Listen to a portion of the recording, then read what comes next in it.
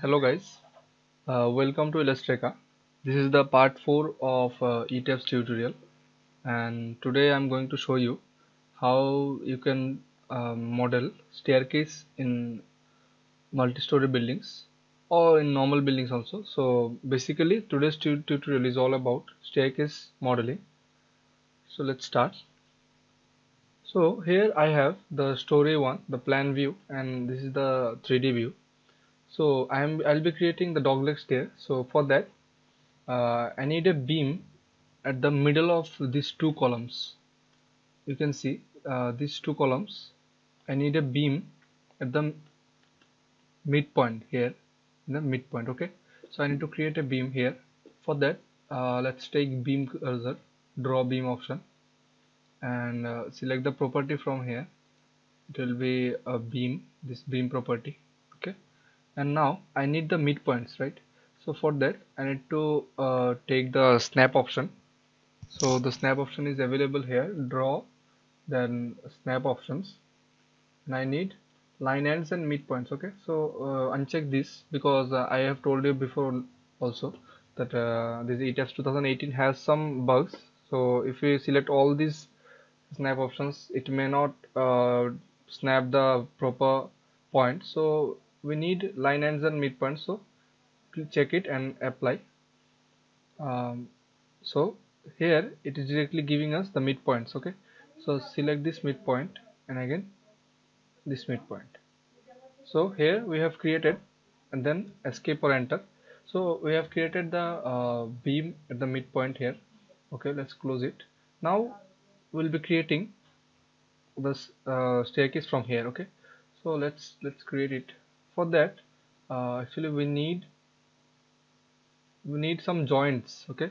So first of all what what we need to do let's see this is the midpoint okay? So we need to divide divide this frame okay? So let's divide this frame. See here divide frame or else you can go to edit then edit edit frames divide frames okay? Divide frames into two and then apply.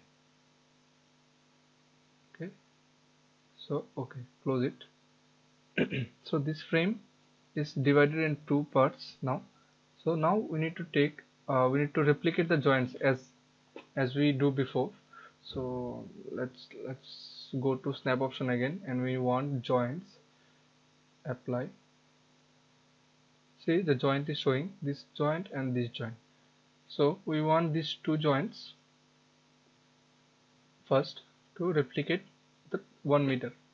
So go to edit replicate uh, it will be x direction minus x direction. So it will be minus 1 meter minus 1 meter then apply. So it is created. So let's take the slab.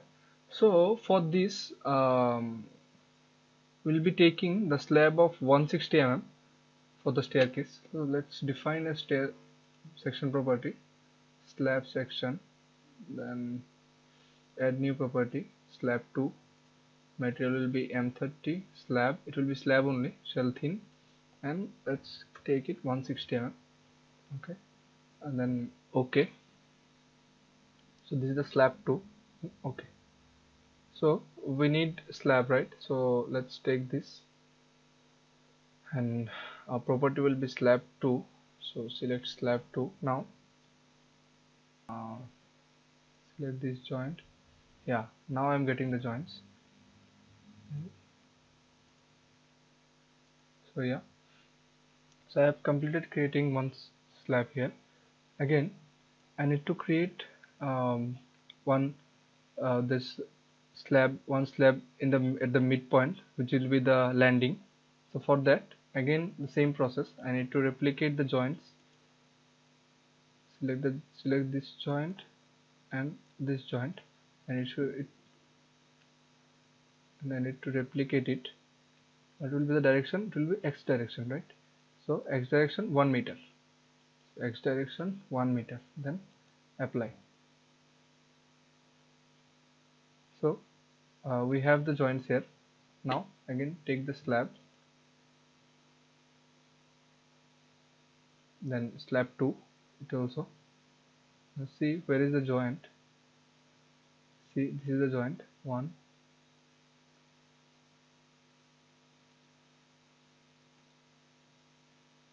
There should be one joint. Actually creating in 3d view it's quite difficult but only once you need to create. So no problem. See? So we have created the landing also. Okay. Now what we need to do let's um, join these beams. These two beams we have divided. So let's join it. See join frames. So it is joined now. Now what we need to do let's change the display option. Graphic let's make it 50 percent.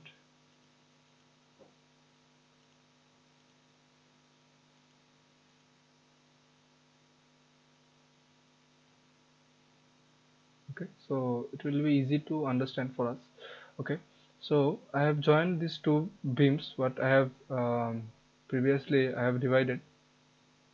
Now what we need to do we need one joint here also to make this uh, the waist slab okay? So we have a beam here. See you can see this beam. We need to divide it as early as we did before. So divide frames to apply okay?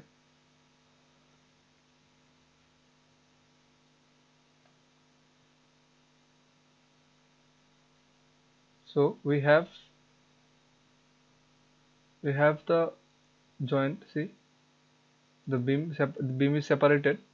So we need the this joint here the midpoint right? So let's uh, replicate it in the x direction 1 meter then apply. Okay? So now we have two joints. Um, let's close it now we have here one joint another one here okay? So we need to create a wedge slab from from this these two joints to the upper part okay? So let's take the slab and uh, check whether the property is slab 2 or not okay? Slab 2 and select this joint okay? Then this joint this joint this joint and okay. So one wedge slab has we have created one wedge slab right? You can see here this is the wedge slab now this is the first stair from ground floor to uh, the mid mid of the first floor. Okay. From this uh, landing we need to go to the first floor right? This is story one. Sorry story two. So let's once keep it side aside. Now we need to go to story two. So uh, select this floor and go to story 2 see with this arrow you can change your stories. So this is the story 2 and in story 2 this side we need to create one slab right? So select these two joints replicate minus x minus 1 it will be minus x direction because this see this is the positive direction and that will be the negative direction. So we need 1 meters which uh, landing. So uh, minus x minus 1 then apply. Okay so we have the joints here. Let's take the slab. Okay let's see we have the joint. We have this joint also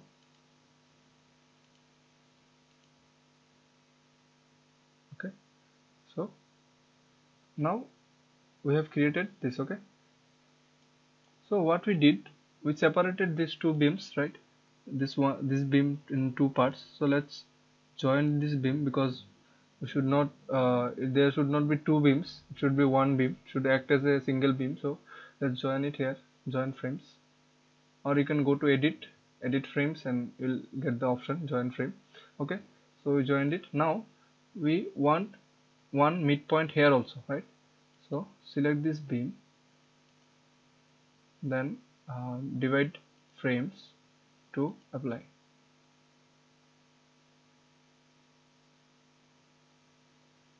Okay then okay. So here I have one joint replicate minus 1 apply. See I have the joint here. So again the same process same process. Let's let's create it. So the, take this slab slab 2 from this joint to this joint. Complete it. I think it is uh, visible to you. So see what we have done we have created slabs here right? So again the same process. We have divided these two beams so we should join it let's join join frames. Yeah we join. This is okay. So we join it let's see the 3d view again. Sorry this one plan view story one apply